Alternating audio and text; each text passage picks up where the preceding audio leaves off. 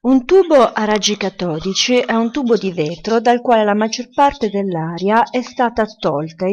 Quando le placche di metallo che si trovano dentro al tubo di vetro vengono collegate ad un generatore, dal catodo carico negativamente partono dei raggi. Questi raggi viaggiano verso l'anodo che è carico positivamente. Se l'anodo viene bucato, questi raggi arrivano su uno schermo fluorescente che si illumina quando viene raggiunto dai raggi che partono dal catodo. Così funzionavano i tubi catodici delle vecchie TV. Se applichiamo un campo elettrico i raggi vengono deviati poiché sono formati da particelle cariche negativamente. Perciò i raggi catodici sono formati da particelle cariche negativamente. Noi oggi le chiamiamo elettroni.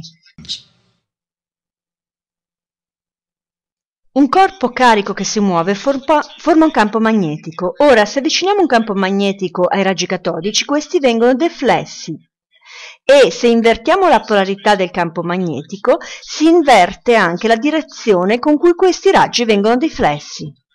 Nel 1897 J. J. Thomson determinò il rapporto tra massa e carica per l'elettrone. Egli aggiustò il campo elettrico in modo tale che l'angolo di deflessione dei raggi catodici dovuto a tale campo fosse uguale all'angolo di deflessione dovuto al campo magnetico.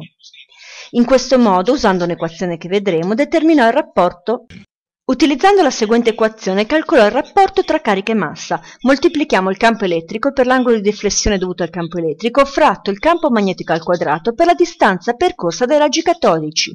In questo modo troviamo un rapporto pari a 1,76 per 10 all'ottava coulomb per grammo.